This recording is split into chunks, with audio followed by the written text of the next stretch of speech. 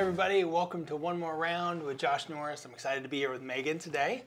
Uh, so I have Meghan Alfonso, and service to others is the rent you pay your room here on earth. Uh, Meghan is a fifth generation Arizonan. After graduating from Desert Mountain High School, she moved down to Tucson to go to the University of Arizona. Meghan graduated in 2007 with a Bachelor of Science degree in Family Studies and Human Development. Since graduating college, Meghan assisted with numerous charities, both for business purposes as well as pleasure. Her last job before starting her own nonprofit at the Phoenix Children's Hospital Foundation for two years as both a special events coordinator assistant and a communications specialist. She helped raise almost $3 million in a variety of different events. The Pierce Family Foundation was established in 2014 with the goal of being the bridge between the hospital and the home. The foundation raises money for families at the home who have a child suffering from a chronic or life-threatening illness. Since inception, PFF has raised almost $850,000 and has helped thousands of families with both bills as well as with a variety of needs at the home. Getting the entrepreneurial itch about four years ago, Meghan created an all-inclusive travel concierge business called Girl About Town. Thinking it would be an ongoing list to sell to incoming travelers has quickly transformed into a full-fledged business now located in Louisiana and Denver. Meghan has a team of 25, two vans, a plethora of contacts of local vendors, and eye for creating an epic weekend for incoming groups, specifically bachelorette parties. Over 400 groups filtered through GAT last year, and they already have 200 uh, past 250 booked for the year current. Meghan's wife, a mom to six-month-old Pierce, a bonus mom to two amazing stepdaughters. She's excited to build an enterprise for a family. Welcome. Thanks Meghan. for having me, Josh. Yeah, you have a very impressive resume. oh gosh, thank you. yeah. Um, so I mean, we've known each other for quite some time now. Yes. And uh, Girl About Town is I've watched it like continue to thrive and to flourish. But I mean, you're doing so much. Uh, how do you how do you kind of keep the hats? Uh, oh my gosh. Correct. Well, it's definitely been hard, especially now becoming a mom. It's like a whole nother ball game. But um, I'm really thankful for my staff and my team. Like I think right now we have a really good core group of people that can help me grow it to what it's capable of. Mm-hmm. That's awesome. So uh, let's start with the Pierce Family Foundation. That's okay. super cool.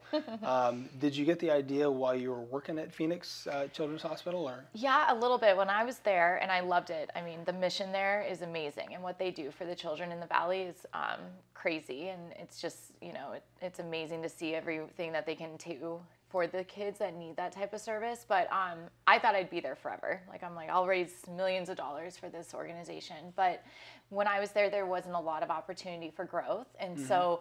I actually just quit and I like had no plans and I was just like, oh no, I just moved to a new apartment. Like, how am I gonna make rent? And so my he wasn't my husband at the time, but he was my boyfriend, was like, you should just start your own business. And so I'm like, or your own nonprofit. And I'm like, what? I don't even know where to begin. And so I hired a life coach and he kind of helped me like figure out the necessary steps to start the nonprofit. And the reason I really wanted to is um, my great grandfather and my dad's side of the family mm-hmm. has been in the valley like you mentioned before you know the state was even a state that's how i'm a fifth generation wow and they were the first Coors beer distributors out here. Okay. And so I kind of watched him. Well, I did. I watched him be an entrepreneur and a boss, you know, my whole life. And I'm like, well, I'm going to try it out too. It's great. So uh, um, with Pierce Family Foundation, uh, I, I, was at a dog show you guys did. Yes. About a month ago. Uh-huh. It was so much fun. what all things do you do to help, you know, raise money and, mm-hmm. and how, how do those go to benefit the children? So throughout the year, as you know, we started doing um, the PFF Dog Show. So mm-hmm. under the Pierce Family Foundation, we, like you mentioned, pay for bills for families who have a child with a chronic illness. So we cover like their rent or mortgages, you know, car payments, anything that um, the hospital doesn't really handle. We, mm-hmm. you know, we don't do medical bills, but we'll make sure when they leave the hospital, they have a home to go to, as well as you know their electricity is still on. So we put on a variety of events throughout the year. We're a part of a tax credit give back campaign that Arizona has out here. Mm-hmm. Um, you can donate through Amazon Smile. You know, whenever you shop on Amazon, a portion can come back to the foundation. Um, so we just try and think of different and unique events to host throughout the year that we can give back to the community. It's amazing. So, what, what have you been able to, to do then, like for the kids and stuff? What are some cool stories? Oh my gosh. Well, we've been able, like, since that event you came on or helped with, um, we are able to give service dogs to children. And service dogs, I had no idea would benefit kids when I first started the nonprofit, but they allow children who have epilepsy, they can actually sense when a child is about to have a seizure. They'll alert their parents or do some kind of movement to make sure that they can, you know, get the child the medicine they need so they don't have to rush to a hospital. And so that's been great. And then we've even given a car to a mom who's needed a vehicle to take her children to the hospital. So we really try and touch touch on those home needs, that, so they can have a safe place to get better. It's awesome.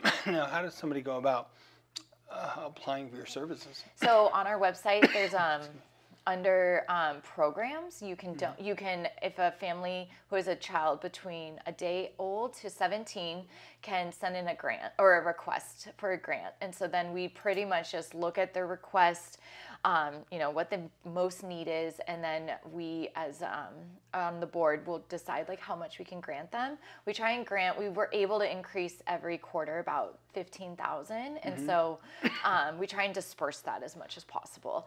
And then um, if you want to be involved you can go on our instagram or on our website and there's a volunteer option. Cool. Uh, what, what uh, kind of events do you have coming up? well let's see. I'm trying to do a roller skating party. Okay.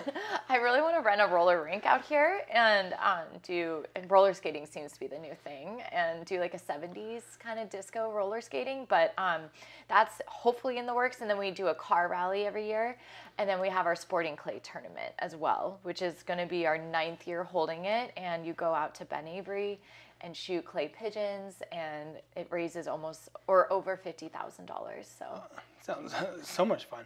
I got to do that one. yes you got to come out and show us your shooting skills Yeah, they're, they're not great. I think I've shot clay pigeons five times in my life. but- Okay, well, we sell mulligans, so oh, perfect. I'll, I'll need plenty of them, but Okay, that's how we raise money, right? exactly. It's all for the kids. so uh, that sounds like you know you've got your hands full there. Right. Uh, but you started Girl About Town. I mean, how did that all come about? Oh my gosh. Well, I have actually some friends that would make fun of me and be like, "Meghan, you're you're like the girl about town. You always know what's going on or like what's happening." And I would get asked a lot from like friends that don't live here anymore. You know, like, "Hey, where's a good place to stay?" Or my family's coming to town. Like, what restaurant should I go to? Or um, I don't know. I get asked questions all the time, probably because they know I'm fifth generation. And I'm like, "Oh, I'll just put this as a list, like, and sell it on you know a site and maybe make it like a blog, you know, and." Just this will be some side income. And then we started um, saying that we could start doing local parties. And so we did like a graduation and a baby shower. And then that was more, that was fun because it was actually seeing the whole event happen. And then a girl reached out from Seattle and asked if we'd set up her Airbnb and put a margarita bar in there and if she could send us some decorations like would we put it in the house? And i'm like oh my god why don't we do this for more people? And so we started promoting it and um, started hashtagging certain words and uh, bachelorettes just started finding us. And now like you mentioned we had 420 groups last year and this year we're doing 20 events a weekend Wow. I know. Is it just chaos right now? I mean, it is. Yeah, like we thankfully have a lot of room at our warehouse where girls we we have girls that come in and help us blow up everything and set everything up before mm-hmm. they actually show up. The you know the groups and everything has just grown like so much. Like we used to let everyone just mail us decorations, you know, and then we mm-hmm. go in and set put everything in. They still do, but now we actually have better stuff that they can rent from us mm-hmm. with neon signs and you know sparkly walls and so that has been life game changing Awesome. So, what all do you do then for bachelor bachelorettes? Because it Yeah. seems like you do a little everything. Yeah so we we can itinerary plan for them which they love because then we'll make all the reservations for them. We um, fill their fridge. That's a huge sell for people because you get to wherever you're going and the last thing you want to do is go find a grocery store. So we'll actually grocery shop for them. We'll buy their alcohol snacks food for the whole weekend and then we deliver it to them we decorate, of course, for them. They can rent pool floats from us. That's another huge sell. Um, what else? We have cornhole rental. We can uh, make an um, like a whole theme of like if they come to us and they're like, we have no idea what direction we want to go for the weekend, and so we can create a theme for them for the whole party. Um, really anything. Yeah. Pretty much anything. Awesome. I know we we've had a lot of uh, your bachelorette parties end up getting IVs. Right. Um, that maybe went a little too hard on Friday or Saturday. Uh huh. To get back on their feet. Yes, they love you. We um, leave a card with every group that says like book with if you're not feeling too good, you know, book with Regenerate IV. And I think most of them all like are very thankful we give them that Yeah. because yeah, we see the amount of alcohol they're buying. Yeah. We're like, this will be a great client for you. Yeah. Everybody's like, oh, I'll, I won't need it. Yeah. And then they get here. and Yep. It's like, oh yeah. Yeah, Yeah. Scottsdale has become like a mini Vegas, and I think they don't realize how fast that can turn on them. it's actually insane. So we did like a little staycation last year in Scottsdale. I think we stayed at the W. Uh-huh. And so we just, you know, went around to some of the different local restaurants and hung out during the day. right. And it was like bachelorette party over here, over there. You know, they got the party bike. They got, you know, we went into this uh, Rusty Spur Saloon or Oh, something yeah, like that. It was uh-huh. like 10 bachelorette parties right there. It's crazy. Yeah. I know. I mean, I know so many like um, there's so many new like companies that have popped up just be, to cater to the bachelorette parties. Mm-hmm. It's wild. And I mean, I didn't realize until I started doing it full time that Scottsdale has become the second most popular location in the country for bachelorettes. Nashville's one, Scottsdale's two. Which is wild, you know. Yeah. I mean, so us, our business is very well situated. And I love Nashville too. So we'll have to move Yeah. out to Nashville at some point. yes, I agree. It's awesome. So what's uh, what's on the horizon then for Girl About Town? So speaking of Nashville and like how you mentioned New Orleans and Denver, we are going to start franchising the business. I've been trying with the current cities, it's worked of like having brand ambassadors in the other locations. We had other ones, but due to it takes about a year for our business to get really kind of off the ground and the like um, to get some traction, you know, people knowing that we're there. So um, we decided that we're going to start franchising to other business or cities and give the opportunity for you know if it's a you know a, a wife or you know maybe it's a group of girls or whomever want to start their own business and just need some support they can create their own business with a brand that's already established and so It's awesome. And then do you like spend some time training them on Yeah. how to you know get customers and all that good stuff? Yeah, so they, I think we're gonna come up with a whole process, but I think it's gonna be like you got to come to Arizona, you know, for maybe a week or two, work in the office with us. We'll train you on how to sell. You know, we're gonna train you how to invoice, how to do everything, setups, and you're gonna have to build your packages the way we've done them. Really, like a whole guide as to like how to make it happen, and then. I think we're gonna have to go out and check on them, you Yeah. know, periodically, and it's it's kind of crazy to think of like where it could go. You know, I have a girl that's even an intern at from ASU, and um, she's from Europe, from London, and I'm like, gosh, you could uh, potentially be our first like overseas ambassador. I mean, How cool would that be? I know, and she's like, oh my gosh, there's nothing like this in Europe, you know, and so. I don't know. We'll see. Awesome. Sky's the limit. I know. It so is.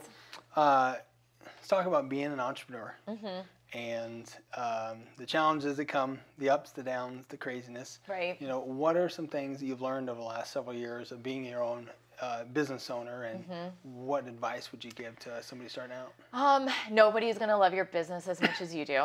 Like I, um, I think that's sometimes the hardest part. You know, like I'm the one that obviously like has all these huge goals and dreams for it, and um, I'm really the only one who can like make that continue to happen. Um, I hope that doesn't come off like. No, I totally know what you mean. okay. Yep.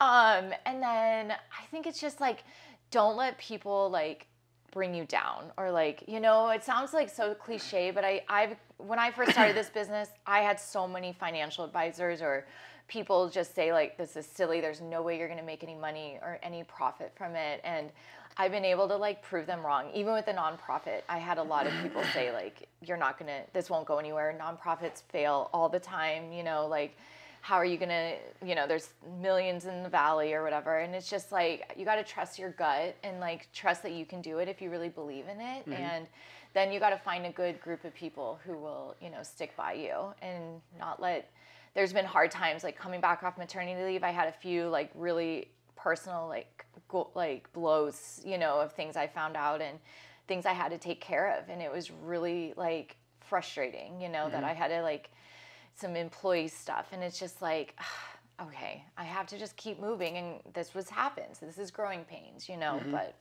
we're on a good track now. Yeah, and when you like deal with that, like with employees that maybe don't see the business the same way Mm-hmm. or end up leaving, I mean, I know that can be challenging. I've Yeah. had it happen before. I mean, Right.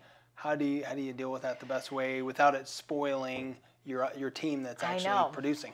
I know. It's. I mean, I think I constantly am just trying to show the girls that I appreciate them and that I understand what we're doing. It's a lot, and I ask a lot of them. But I also am trying to show that like I wouldn't mm. ask anything of them that I haven't done or would do. You know, mm-hmm. like. Yeah, I'm the boss, but like last weekend we had a setup in Buckeye, which is you know 40 minutes from Yep. Scottsdale. I went and did it with a, one of my girls. You know, like I went one time when we had a client mishap and brought her a bottle of tequila. You know, like I am trying to sh- like I I wouldn't ever ask anybody to do something that I wouldn't do or like haven't done. So I'm in there with them. Uh, no, and that's huge. I mean, as a Mm-hmm. leader, being able to show them and to work with them directly on the ground floor, Right. rather than just you know from this beacon a, Yeah, a, just and like, like- just do this and that. Yeah. it doesn't go over terribly well. I agree. Yeah, Yeah. and I'll, every time I see the board, you know, because we write all the clients' names and like the times and everything that they're getting, I'm like, okay, if you guys need me, like let me know. You know, mm-hmm. I'm like, put me on a job if you need me to, and like they mostly do not unless it's like a last minute thing or like something a random that happens that I gotta like jump in. But I at least let them know like I'm here. like I mm-hmm. I'll do it if you need me to go fill a fridge or like go drop off pool floats or do a setup. Like I'm here for you mm-hmm. guys. So I think that's the, a good way to show them that I'm there for them. And then I'm really, really try and promote within. As you probably know, we have a lot of girls we call like side hustlers that mm-hmm. just help us implement all the the jobs that we have every week. So those girls we watch and we're like, oh, this one's doing really great. Like, I think she could handle more responsibility, or you know, she's expressed interest in the company. So I hire from those that group versus just outside of the company.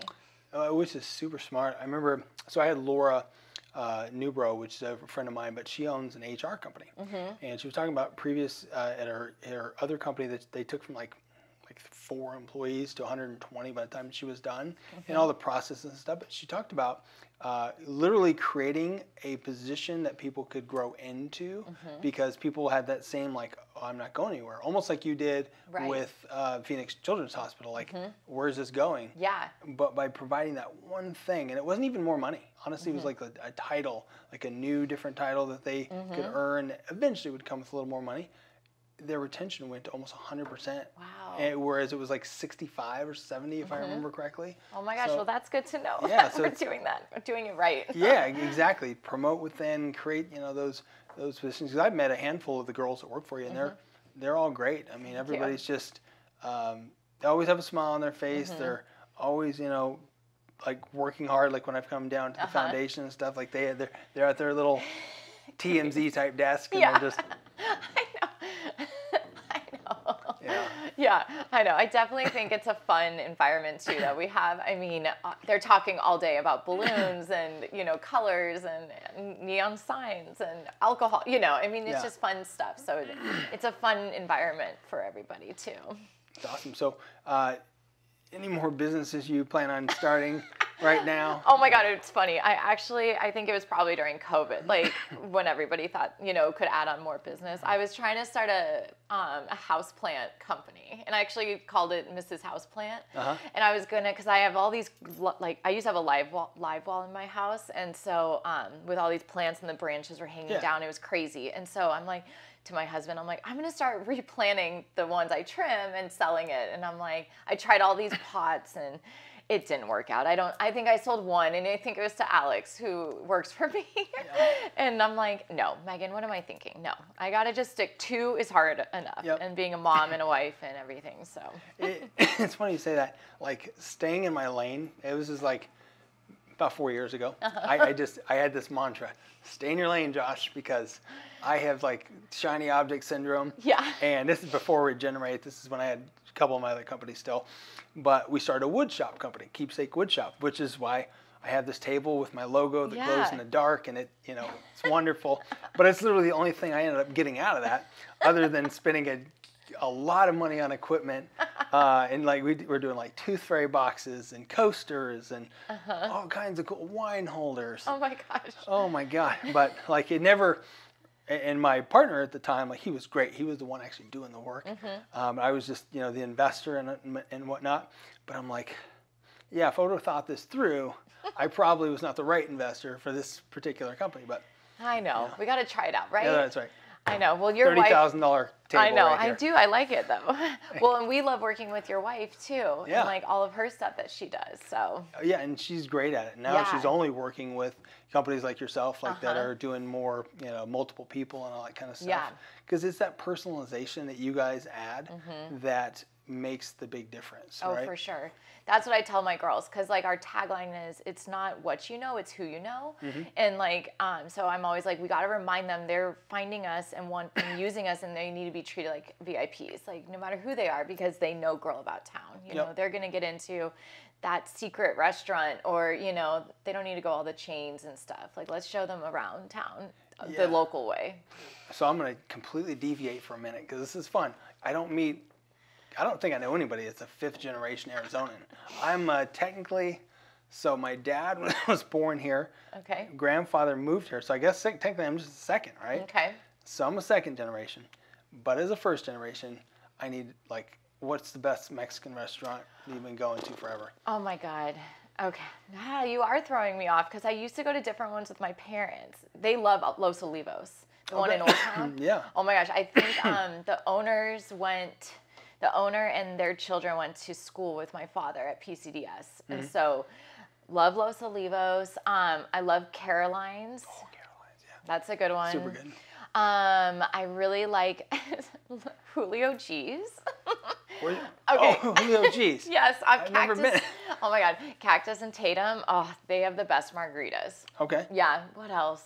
Okay, I think that's my three. So that okay, so that's Mexican. 'Kay. Now, uh, what what are some of the best restaurants just in general that you like being? Um, okay, I love City Hall. City Okay. Hall is like my go-to steakhouse. I love um, the service and their butter cake is to die for. I haven't had the butter cake there, but Okay, you got to go there. Um, God, what other restaurants? Now I should have thought of this stuff before I sorry, it was a total curveball. But Um, I love El Chorro. I think that's a really good one. oh, Chorro, yeah. That's a good one. My sister actually got married there, and it was a really, it was beautiful. That's off Lincoln, you know, and like Tatum. Um, what else? Oh, my husband and I love Rusconi's. That's also off Shea and Okay. Ta- Tatum. It's this little. It looks like a hole in the wall, but it has also the best service. It's a tiny little spot. What kind of food? Um, gosh, I would say American. They have, you know, like they have interesting stuff like duck, like roasted chicken. Um, very delicious though. That one's good. Are there any pizza places out here that you're like, I gotta? Oh, oh yes, I love um, Il Bosco. Another spot. I'm all in my bubble. Um, another spot off um, Scottsdale and Shea. Like it's over by Handlebar J's. It's right next Okay. door to there. That's a really good little spot. And then, um, oh my gosh, what's the place in downtown Phoenix that everyone's obsessed with? Um, Oh, Blanco. Yeah, Wait. Pizzeria Bianco. Mm-hmm. Pizzeria Bianco. Yeah, the girl, um, the man who owns it, her his wife went to high school with me, and so it's Oh, really cool. delicious. Yeah, yeah. Some Sorry, so I had to like deviate there for a second. No, it's okay. I like. I'm like now. I feel like it. Well, because Arizona, it's a fascinating place. I mean, Yeah.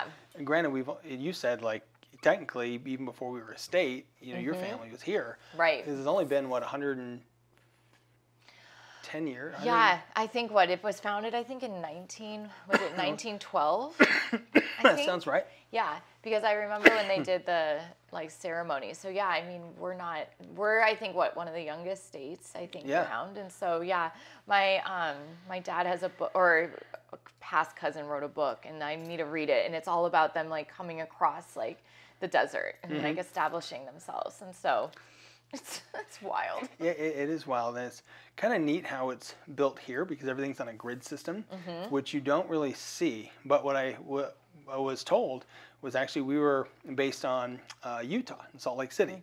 Uh, the Mormons had kind of built everything in a grid, so it's Mm-hmm. Easier to get to. So out here, that's why everything was structured this way. Yes. Because you go to like San Diego or a place like that, it's like everything's zigzagging Yeah. and all this, and like how Uh-huh. do you get from place to place? Whereas here, it's like, oh, it's on 43rd Avenue and Cactus, or it's on Yes. Tatum and Shea, and like, oh, I know how to get there.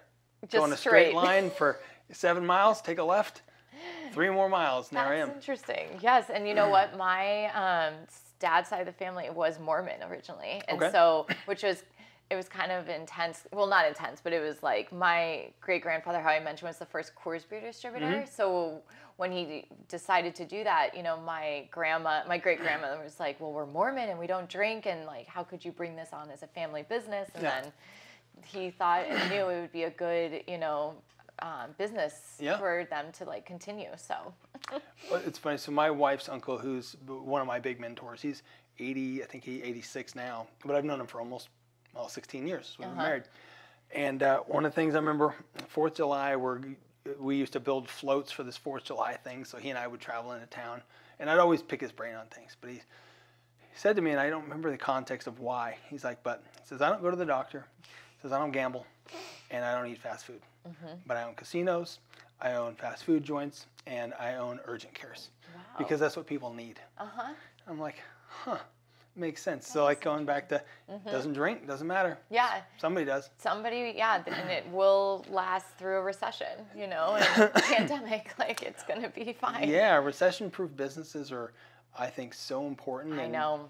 And looking at like your business and saying how how can I survive another recession if it happens, I know. if and when I should say. That is a good question. I mean, definitely when COVID hit, it like took a huge, you know, I mean, we Mm-hmm. were like, well, wait a minute, nobody can travel, nobody can be around each other. So we um we decided to start doing virtual bachelorettes and Mm-hmm. virtual sleepovers actually for kids. And that was a actually a huge like source of like revenue because these kids would go come onto our Zoom link and we had games and like you know um, snack recipes they could make with their parents and stuff and Oh, like they'd all cool. just get on and like play while they're in their sleeping bags on their computers and I mean it actually like worked out but you do you, you have to get creative and think okay what what happens if this happens again Well, and, and it's all about being outside of the box. I Because know. what your business looks like today compared to 10 years from now could be completely different. I know I it mean- really could. I thought this was li- going to be a long list of just suggestions, and now it's like, nope, Well, and like um, IBM started, did you know it started as a meat slicer company? no. Yeah. I did not. And this is back in like the late 1800s, right? Uh-huh. And then obviously IBM, the International Business Machine, what we know Yeah. today, computers and all that stuff. So it's like just always that evolving. And Mm-hmm. over time, you know, everything works out as long as you keep going, right? I know, and I yes, I think I think we will. I have a lot of faith and good vibes about GAT, so I'm excited to see where it grows. Me too. I think it's going to continue to thrive and Well, thank you. congrats on all the success. So how can people find you online? Um, you can find us on um, Instagram, TikTok, and it's um, Girl About Town. It's underscore girl underscore about underscore town. And then you can find us on, obviously, online at girlabouttown.org. Mm-hmm. And then you can find me on Instagram. I'm Megs Alfonso 725. Awesome. yeah. All right. Well, thank you for coming on today. Thank you so much for having me. Absolutely.